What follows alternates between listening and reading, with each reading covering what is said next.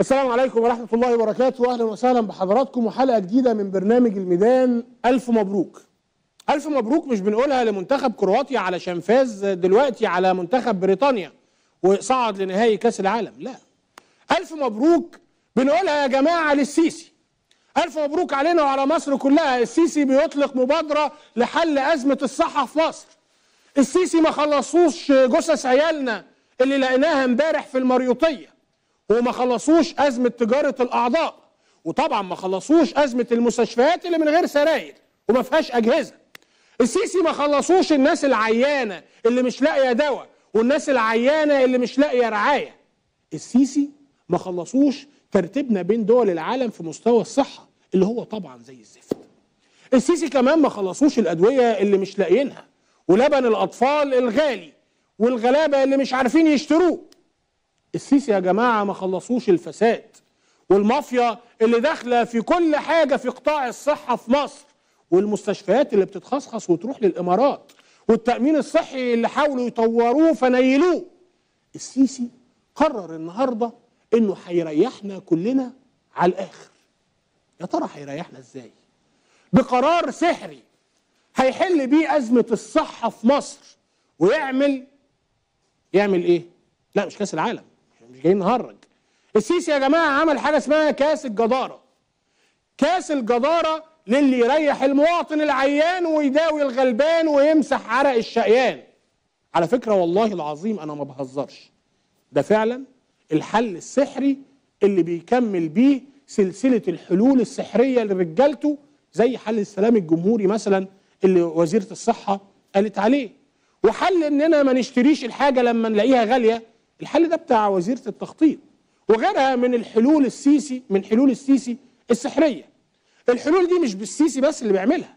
لا السيسي وقلاضيشه وعصابته ورجالته. عموما يا جماعة السيسي كل اللي بيعمله هو ورجالته حاجة كده من نوع تقدر تقول عليه طق حنك. يعني الكلام الجميل اللي زي الزبده اللي بيطلع عليه النهار ده بيسيح.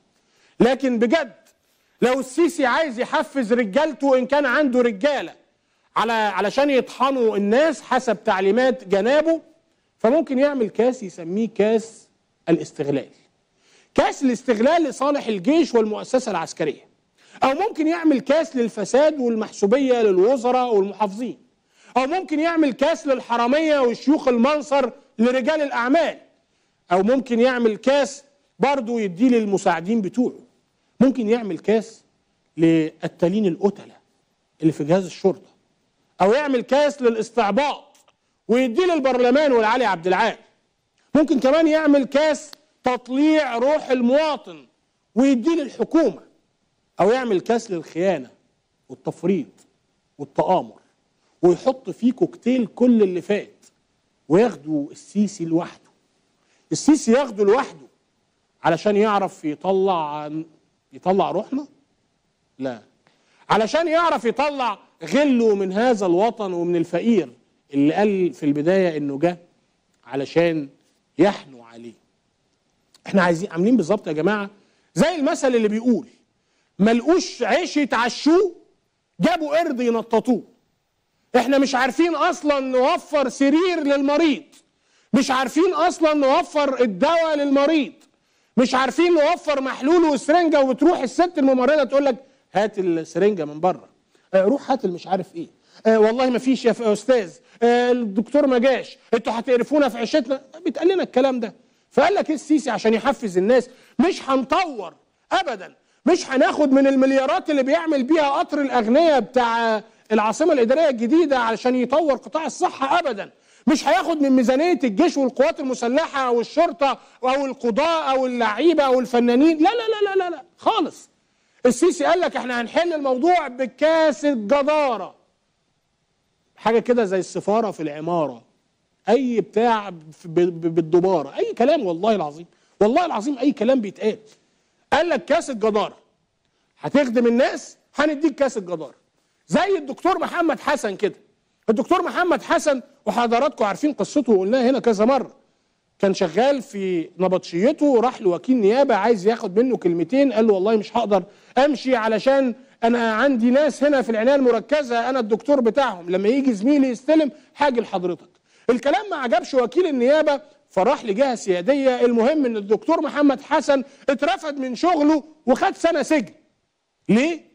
علشان طبعا ما يستحقش. كاس الجداره كاس الجداره ده إنك تسمع وتطيع وتحط راسك تحت أي بيادة.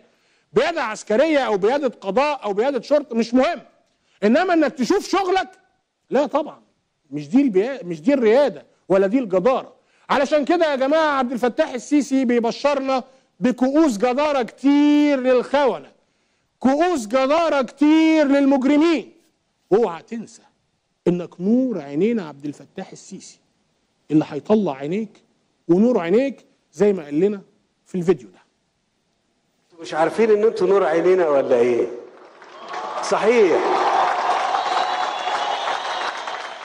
أنتوا مش عارفين إن أنتوا نور عينينا ولا إيه؟ صحيح.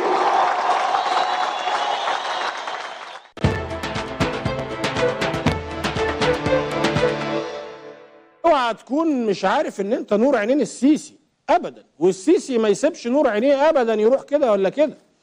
عموما النهارده هنتكلم عن كؤوس الجدارة. النهارده بما إن عبد الفتاح السيسي عامل كؤوس للجدارة إحنا كمان عاملين كؤوس. كاس خير ألبان الأرض. هنستعرض مع بعض إزاي القوات المسلحة بتدي وزارة الصحة 22.5 مليون علبة لبن. ده على فكرة في شهر إبريل بس. سبوبة جديدة يا جماعة. سبوبة آه، اللبن خير ألبان الأرض واللي بيقدمها لنا الجيش وده الكاس اللي هنشوف هنديه لمين النهارده.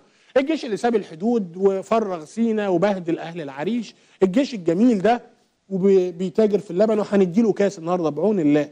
هنشوف الكيس مين الكاس مين اللي هياخده. طيب في كاس للصحة. كاس الصحة كمان يا جماعة آه، أظن الصورة معبرة. الصورة مش محتاجة أي كلام.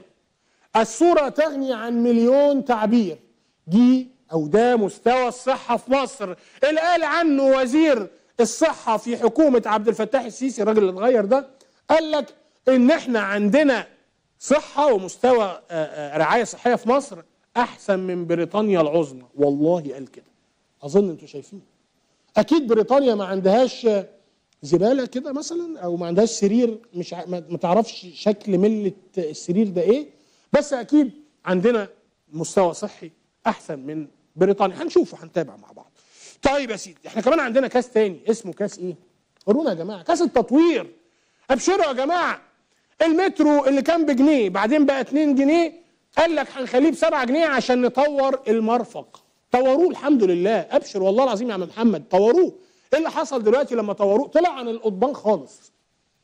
البتاع ده شغال في مصر من التسعينات وإحنا صغيرين. وانت كمان كنت صغير. أول مرة يطلع بقى عن. عن القضيب خالص ويقع على جنبه زي ما حضرتك شايف كده بعد ما طوروه. ربنا يستر على مصر من التطوير. إحنا مش وش تطوير يا جماعة. نبوس ايديكم كفاية تطوير لحد كده مش هنقدر مش هنستحمل. لو كل حاجة طورتوها وقعت على جنبها يبقى ربنا يلطف بينا. آه، كاس التفريط. آه لازم آه، ندي الكاس ده لحد النهارده. كاس التفريط. إزاي تفرط في أرضك؟ إزاي تفرط في تيران وصنافير؟ إزاي تفرط في مياه النيل؟ إزاي تفرط في حقول الغاز؟ إيه، إزاي تفرط في كرامتك في شرفك في دينك في أخلاقك في عاداتك وتقاليدك ووطنيتك؟ إزاي تفرط في مبادئك؟ إزاي تفرط في مصر؟ ده اللي هنشوفه النهارده وهنشوف مين اللي يستحق الكاس. أكيد أنتوا عارفين اللي يستحق الكاس. أكيد رئيس وزراء أثيوبيا السابق. اوعوا تقولوا عن السيسي حاجة غير كده. عندنا كاس النهارده كاس مخابراتي من الطراز الفريد. كاس كلنا تفر...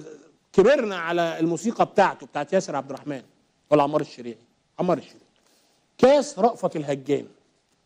هنشوف النهارده في كاس رأفت الهجان إزاي آه، بيقوم الشاب الوسيم صاحب آه، آه، التسريبات المفبركة طبعا عباس كامل بدور رأفت الهجان اليومين دول. وطبعا إدى كتف المجدي عبد الغفار وخد هو التورتة كلها. هنشوف الكلام ده كله في كاس رأفت الهجان. وهنشوف مين اللي هياخد الكاس. إن شاء الله كلهم هياخدوا آه، آه، كاس معانا النهارده. كاس بعد كده عندنا كاس جنون الارتياب. هو مين يا ترى اللي ضرب آه، أو حاول يقتل وزير الدفاع السابق وقائد أركانه في العريش؟ هو مين اللي اللي شال وزير الدفاع وشاله ليه؟ وشال وزير ال- ال- الداخلية كمان ليه؟ هو هو يا ترى زي ما بيقولوا آه، الفرنسيين في جريدة فرنسية كده إن السيسي عنده جنون الارتياب وقلقان وخايف؟